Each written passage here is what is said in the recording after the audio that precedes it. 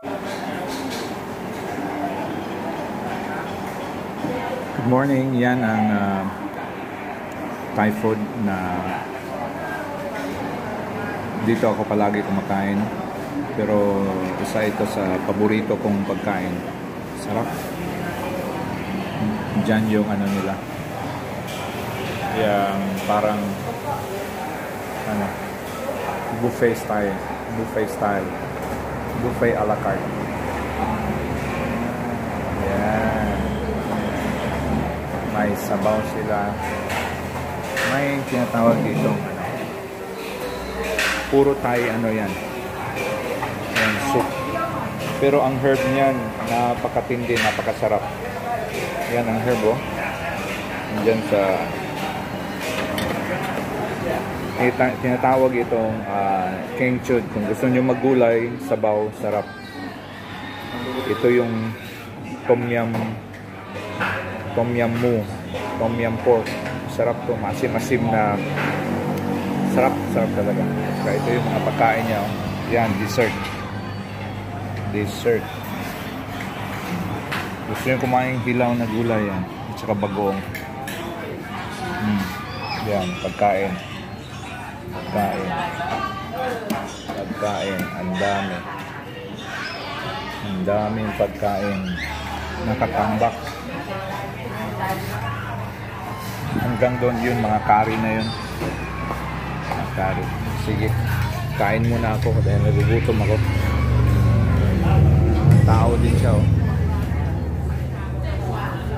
Ma- maya-maya nito puno. Maya-maya nito puno. So, let's eat. Gulay, gulay, gulay. Sige.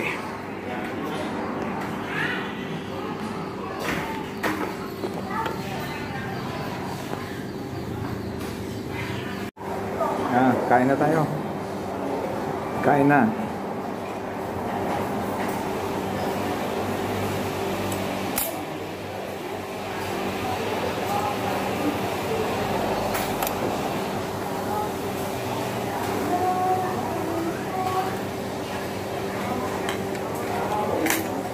Sawadee Cup. Uh, tom yum noodle.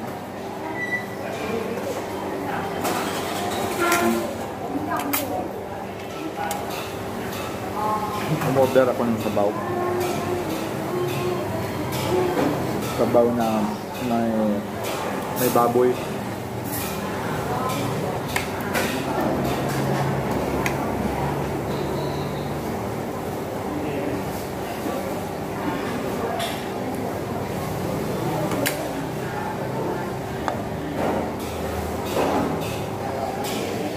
Yan. Yan na siya.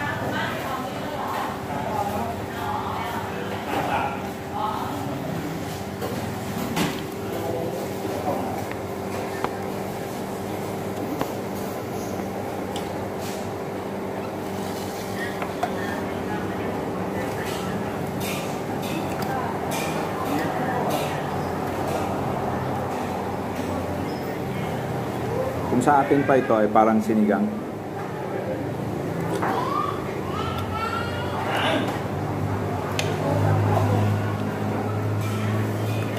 Masim-masim na manghang.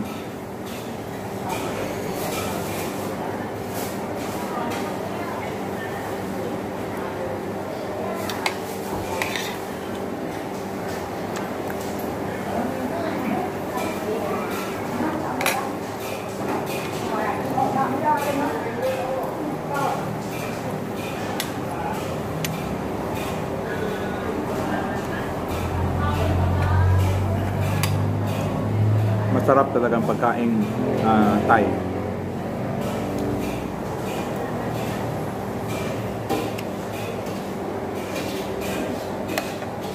Walang kaumay-umay.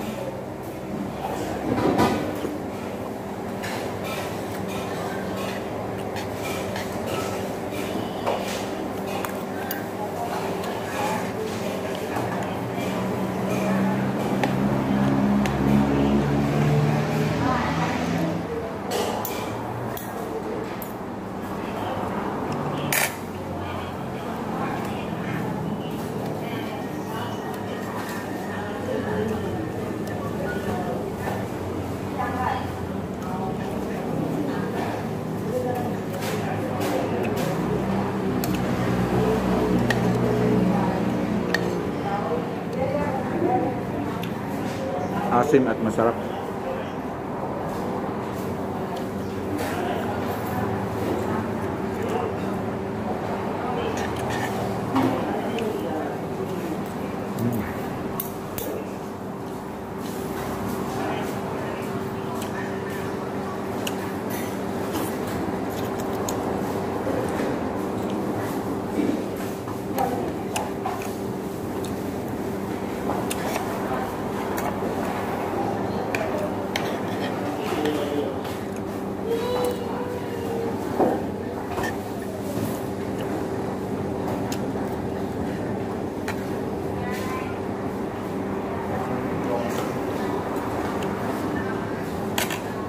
Hindi ko pala napakita sa inyo yung gulay.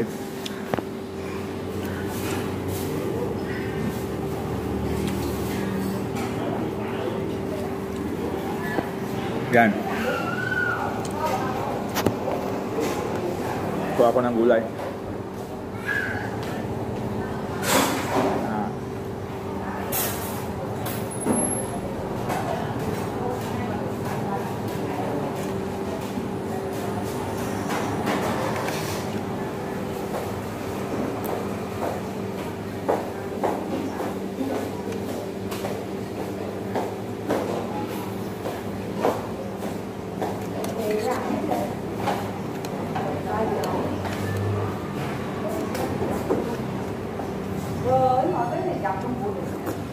Mm.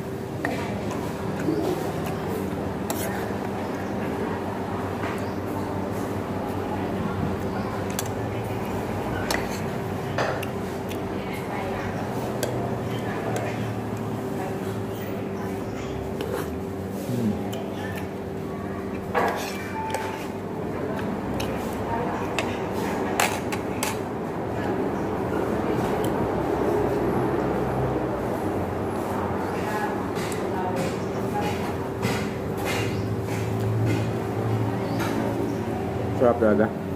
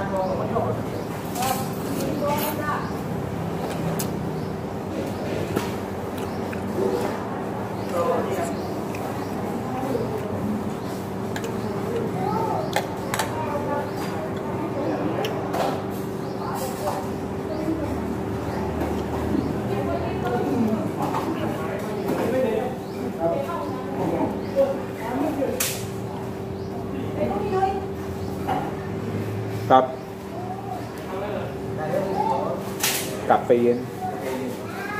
Cafe yun na. Okay. Cafe yun. Yung caffeine, ano yun? Ice coffee. Ubos. Ubos na.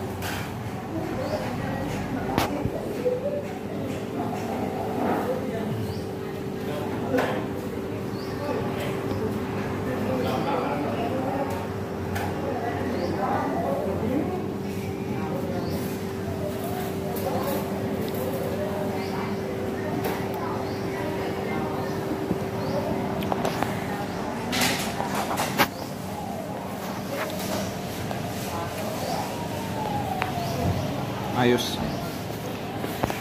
Ayos ang lunch ko ngayon. Nananghalian na ng anong oras? Alas 10. Imedya ng umaga. Siguro breakfast ko. Eh, maraming, maraming salamat sa panood sa aking ah, pagkain ng Thai food. At kayo ay makikita nyo sana yung ano, tawag na, yung yung ice coffee nila.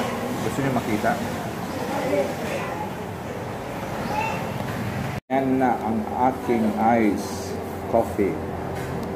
Hindi yan Starbucks ha. Smart drink yan.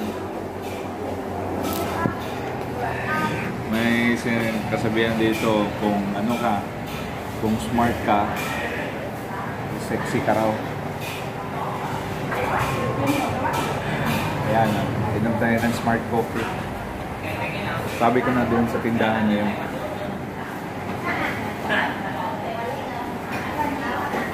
pa 20-20 20 lang yan. Yan malaki ano tingnan mo yung mukha ko. Ting haba na yan. 20 lang yan. Sarap ice coffee. Pampaano sa ano na pampagising sa umaga pagkatapos mo kumain. Yan sila oh.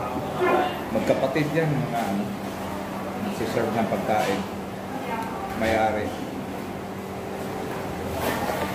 Galing nga eh dahil sabi nila mag-ano daw um, bebenta daw ng um, 20 to 30,000 baht a day galing nga eh galing nga yung ano nila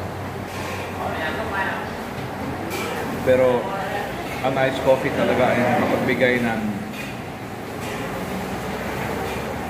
nakapagbigay ng um, lasa pagkatapos kumain. Yes.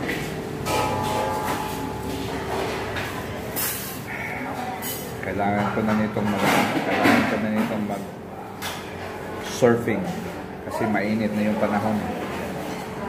Masarap i-surf pag mainit yung panahon. Sana makuhanan ko talaga yung pag ano pag surf ko. Sige guys, God bless you. Mag-enjoy muna ako sa coffee ko. Ha?